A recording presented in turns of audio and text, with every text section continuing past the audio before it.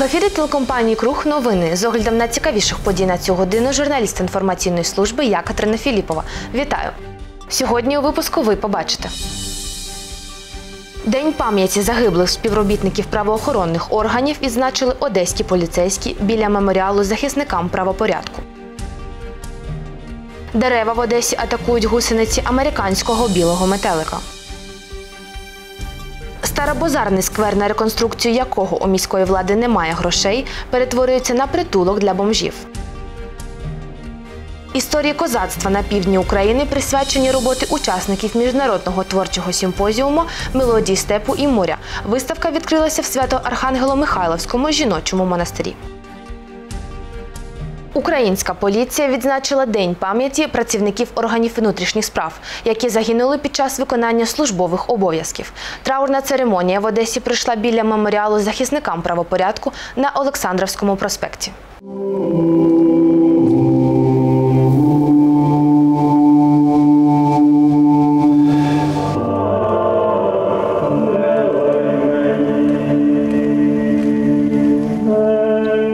75 років з дня визволення Одеси в квітні 44-го року під час виконання службових обов'язків на території міста і області загинули 122 співробітника органів внутрішніх справ. З них 50 безпосередньо під час проведення операцій із затримання злочинців, знешкодження боєприпасів, ліквідації наслідків надзвичайних ситуацій. Траурний мітинг почався хвилиною мовчання.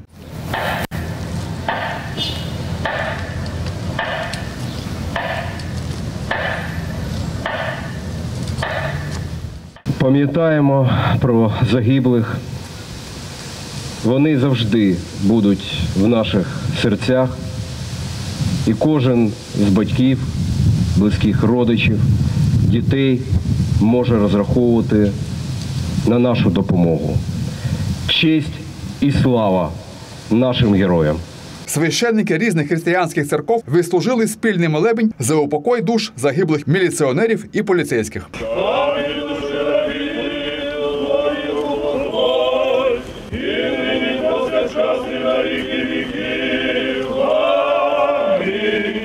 Головне побажання правоохоронцям в цей день, щоб список загиблих нарешті завершився, і щороку згадували лише тих, чиї імена вже вибиті золотими літерами на гранітних плитах. Олександр Виноградов, Альберт Наумов, телекомпанія Круг.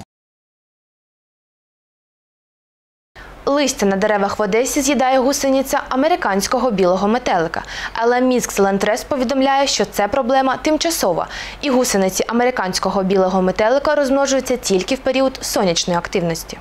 Карантинний шкідник плодових культур в Одесі не на жарт лякає людей. Ось, наприклад, одесити, які проживають за адресою вулиця Мачтова, будинок 20, звернулись на міський сайт 1535 з проханням вжити заходів відповідних служб. Цитуємо. Доброго дня! В нашому районі, Київський район, вулиця Мачтова, та взагалі по місту Одеса нашестя гусені. Гусені просто знищують дерева, падають на людей. Прошу відповідні служби міста вжити заходів. Дійсно, лічинки швидко знищують листя рослин, що призводить до загибелі дерев. А ворсинки гусениць викликають найжорстокіші прояви алергії у вигляді висипки пухирів, які сильно сверблять і подразнюють шкіру. Особливо небезпечне потрапляння ворсинок в очі. После них чешется тело, красное становится. Может быть, их чем-то кропить. Вон, видите, сколько гусениц там на, на деревьях. А приїжджали, обрабатывали? Все. Не, я не видел. Может, по документам приезжают они. А так он У зв'язку з багатоядністю, високою плодючістю і наявністю декількох поколінь за рік ці гусениці становлять велику небезпеку. Як стверджують фахівці, особливо великої шкоди завдають після появи другого покоління. Есть же, наверное, специальные какие-то химикаты, которые не вредят зелени. Вы смотрите, она все погорела, все, он в гусеницах. Вот оно все. Как это? Должен ЖЭК знать или кто тут ими занимается? Зеленстрой. А Кому? приїжджає, Смотрить? Да никто не приезжает, все болт забили. У міськзелентресті кажуть, що це проблема тимчасова, і гусениці американського метелика розмножуються тільки у період сонячної активності, а пестицидами їх труїти не можна. Тому як використання пестицидів в місті заборонено. Тим часом гусениці, закінчивши з деревами, переповзають на фасади будівель. Да и по городу тоже его хватает. Ну а как это? Ну, Зеленстрой должен заниматься своей работой. Ну, деревья же обрабатывают, надо деревья обрабатывать. Ну да, откуда гусеницы могут браться? Них же не в подвале. Надо обрабатывать. Зелентрес обрабатывать должен и обрезать вовремя. Край важливим для боротьби зі шкідником є його виявлення і знищення ще при першому поколінні. Вже друге покоління куди більш численне і приносить значно більше шкоди. Але в Одесі, напевно, відповідні служби не бачать проблеми. Якщо люди скаржаться, що навіть сухі гілки до сих пір не спилюють вчасно, так до того ж до гілок тепер на людей і тварин падають і гусениці. А кто должен этим э, заниматься? ЖКХ или Нет, Зелентрес? Зелентрес. И, и обрезать деревья, он. Что это за хреновина вот такая торчит? Она уже скоро рухнет когда-то. По поводу Зеленстроя, тут ничего не... Когда деревья или большие ветки падают уже на голову людям, вот тогда может еще при... может быть, когда она упадет, приедут и тогда что-то будут делать. І як нам розповіли жителі двору, що ні комунальні служби, ні міськзелентрест не приїжджають виконувати свою роботу. А якщо і приїжджають, то лише так би мовити за окрему плату, як у випадку з гілками, які просили спиляти мешканці. Ось так і живемо. Одесити скаржаться, служби не реагують. І навіть з такими шкідниками, як гусениці білого американського метелика, вони розібратися не в силах. Черговий житловий масив хочуть звести на Гагаринському плато 5 приватні забудовники. Ще риють котлован, але вже продають квартири. Активісти б'ють на сполох і через суд намагаються зупинити приватного забудовника. Про це повідомили на прес-конференції. Учасники прес-конференції говорили про те, що даний проект носить характер будівельної афери, оскільки 10 років тому, існуючи на земельній ділянці за адресою Гагарінське плато 5 нежитлові приміщення сараї, одним прекрасним днем суддівським рішенням виявилися приватною власністю. Камертон це якраз е, починаючи з 2007 року до теперішнього часу. Е, Це приблизно події почалися у 2018 році. Вже активні події. Е, 10 років вони сиділи тихенько. Тихенько сиділи, нічого не говорили, оскільки, е, е, я так розумію, вони хотіли, щоб пройшли усі сроки давності, щоб не можна було притягнути до відповідальності і суддю за неправосудне рішення, щоб неможливо було б е, відповідним органам, оскільки це майно комунальної власності. У 2016 році Одеський господарський суд задоволив позов департаменту комунальної власності Одеської міськради про скасування права власності Камертона. Аж у 2018 році міська влада передає ділянку полтора гектара цієї ж будівельної компанії під будівництво багатоквартирного житлового будинку. В цей же час Одеська міська рада подає заяву в суд господарський в той процес, де їхній, де, де у них камертон виступає опонентом. Вони подають заяву про відмову від своїх позовних вимог. Тобто, у 2018 році департамент комунальної власності відмовилися від свого майна і сказали, нам не треба цього майна. Ми вирішили не витребовувати його з від, від власни, від, скажімо так, недобросовісного власника. І, і от ми їм ще даємо землю. Будь ласка, можете будуватися на цій земельній ділянці. Тепер щодо це от так стосовно маніпуляції Одеської міської ради. Е, Зразу ж після цього, після передачі в оренду, після, е, після закриття провадження у зв'язку з відмовою Одеської міської ради від своїх позовних вимог до ТОВ Камертон, е, управління архітектури та містобудування в особі Шейденка е, Михайла, це ВО начальника, ВО архітектора міста, скажімо так, він ВО. ВО такі архітектора. Він е, видає містобудівні умови під забудову цієї земельної ділянки і так далі. Умови і обмеження для проекту. За словами адвоката, початкові наміри були благі. У 2015 році на цій ділянці передбачалося будівництво школи, а потім дитячого садка. Але в прийнятому роком пізніше зонінгу мова вже йшла про будівництво багатоквартирного будинку. У випадку зведення даного будівельного комплексу жителям прилеглих будинків ні те, що викликати швидку або пожежну допомогу стане неможливо. Неможливим. Власне, ходити доведеться по вузенькому проходу. За словами Олега Ніколіна, проект Unity Towers передбачає по 28 квартир на кожному поверсі з не більш ніж двома ліфтами. Однак деякі депутати міської ради визначили його як краще і висунули на здобуття премії. Своє обурення безкарністю приватних забудовників, бездіяльністю міської влади та байдужістю правоохоронних органів висловив відомий активіст громадський діяч Олег Михайлик, який більш 10 років займається відновленням прав ошуканих інвесторів, які виявили бажання купити квартири в новобудовах. Проблема недостроев существует уже как минимум 10 лет. Во многих городах Украины так или иначе она была решена. В Одессе она не только не решена, в Одессе появляются новые долгострои. В Одессе появляются постоянно какие-то группы людей, которые с помощью городской власти продолжают их плодить. За последние годы э, этот вопрос не просто до конца не был решен. Появился недострой набережный квартал. Там, скорее всего, то же самое э, выбросят часть исторических пайщиков и каким-то образом с помощью доплат достроят. А то, что там выросло вместо 16 этажей почти 30, это почему-то никого не интересовалось. Варто відзначити, що судове засідання за проектом будівництва житлового комплексу на Гагарінському плато 5 вже розглядається у Верховному суді. За словами Олега Михайліка, незважаючи на те, що в зонінг не можна вносити зміни протягом п'яти років, рішення про початок та узаконення будівництва приймаються під різними соусами. Тим часом активісти всіляко намагаються попередити одеситів про вибірковий підхід при покупці житла, уважно і багаторазово перевіряти дозвільні документи і ділову репутацію забудовника. Потім значно важче буде повернути гроші або заселитися в так і не побудований будинок. Практично неможливо.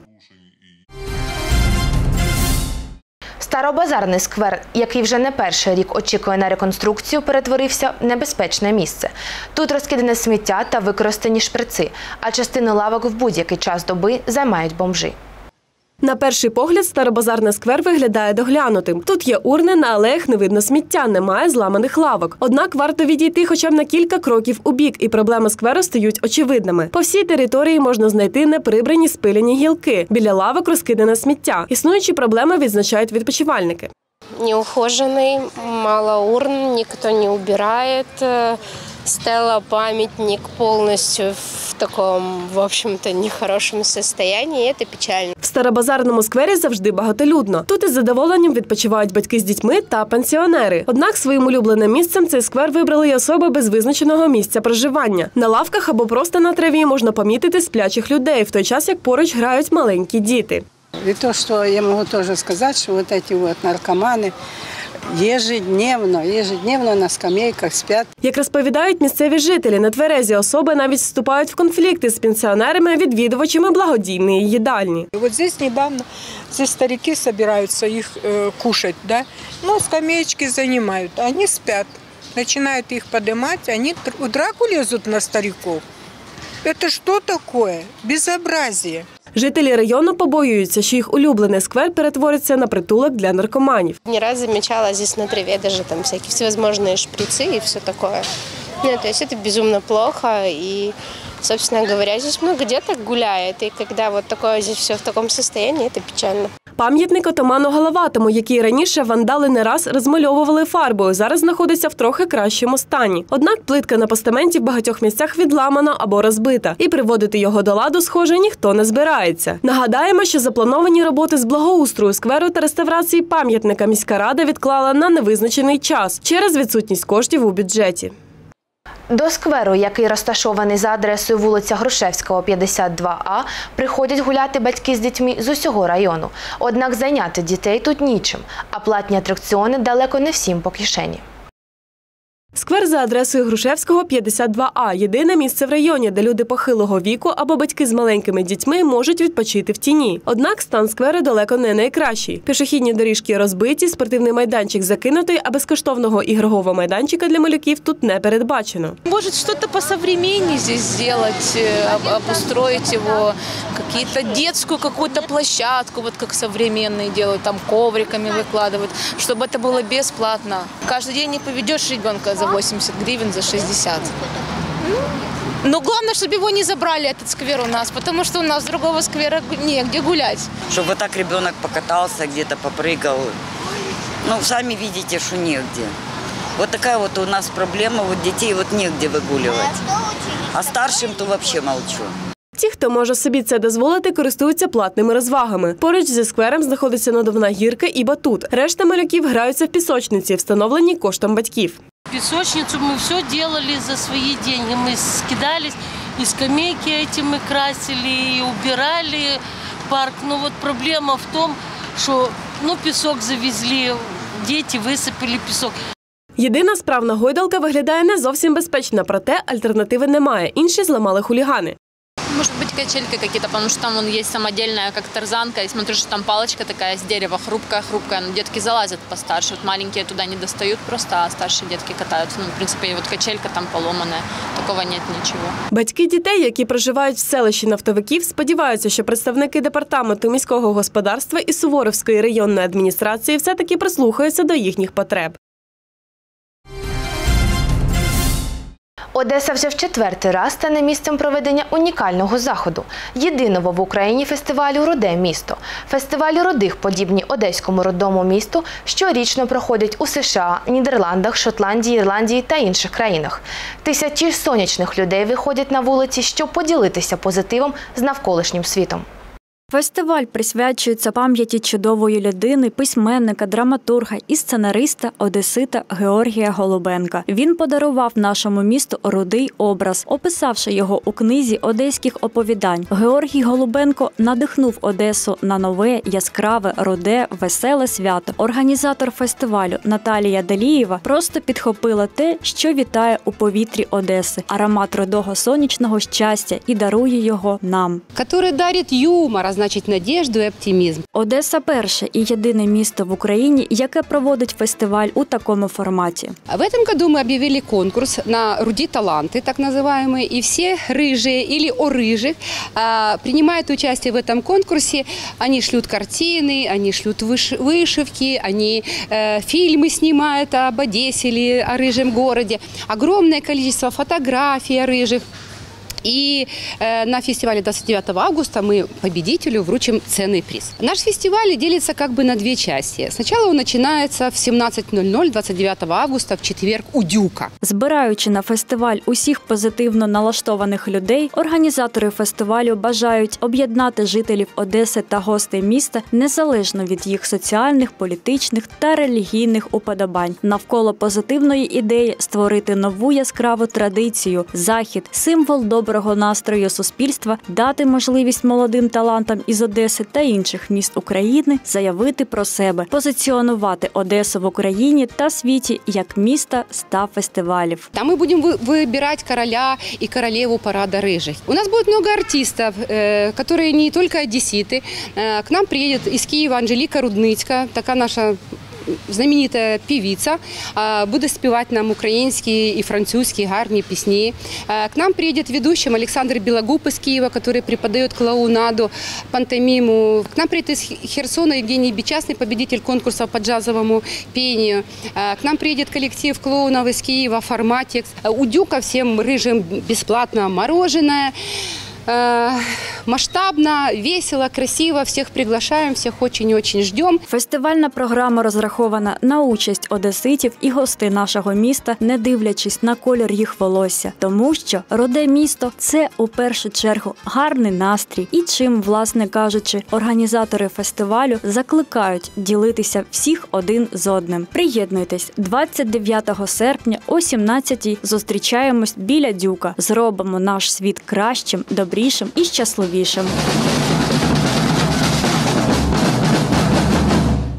28-й річниці незалежності України присвячена виставка робіт учасників щорічного міжнародного творчого симпозіуму Мелодії степу і моря. Експозиція відкрилася в свято Архангело-Михайловському жіночому монастирі. Виставку відкрив хор учнів дитячої музичної школи інтернату імені професора Столярського.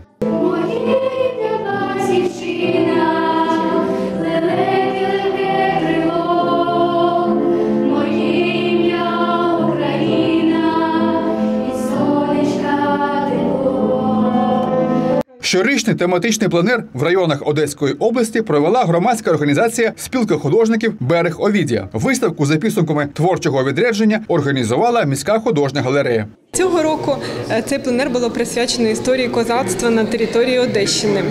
Е, Власне, ви можете бачити тут роботи художників не тільки з України, а й за кордону.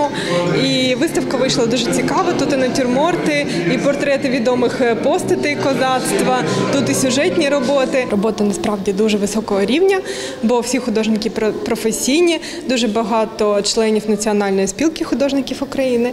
У 25 роботах, відібраних для виставки, пейзажі Дністровського лиману, старовинні сільські поселення, пов'язані з козаками, і, звичайно ж, образи написані з нащадків козацької вольниці. Після знищення Запорізької січі у 1775 році частина козацтва пішла за Дунай і на Кубань. Хтось вважав за краще залишитися в Причорномор'ї. Керівник проєкту, заслужений художник України, завідувач виставками міської художньої галереї Михайло Пархоменко. 12 человек самых отъявленных прекрасных художников. Украина, Белоруссия.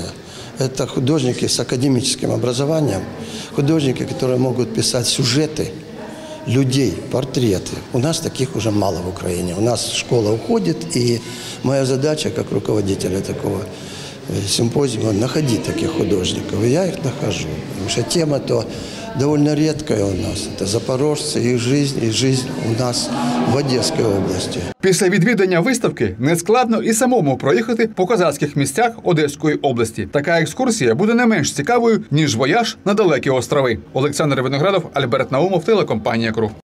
Наш випуск новин добіг кінця. Далі інформація синоптиків про погоду. А я нагадую, що новини телекомпанії Круг завжди доступні онлайн за адресою kruг.com.ua. Якщо ви стали свідками резонансних подій, інформуйте наших журналістів. Про все важливе і цікаве повідомляйте до редакції за номером телефону 34 20 76. Бережіть один одного. До зустрічі в ефірі.